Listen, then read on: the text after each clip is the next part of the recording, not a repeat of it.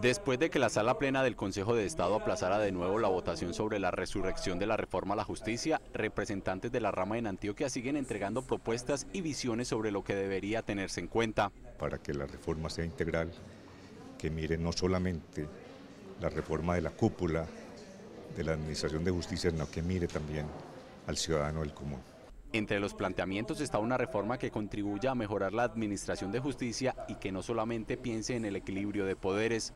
También hay respaldo para la propuesta de modificar las maneras de elección en las altas cortes y los organismos de control. Una justicia eficaz, una justicia pronta, devolverle la confianza al ciudadano para los juristas, la acción de tutela no debe modificarse y se debe avanzar en presupuestos adecuados. Vemos que el Estado mismo ha sido uno de los principales desconocedores de los derechos de los ciudadanos. El texto de la fallida reforma a la justicia elimina el Consejo Superior de la Judicatura y aumenta en 12 años el periodo de los magistrados de las altas cortes.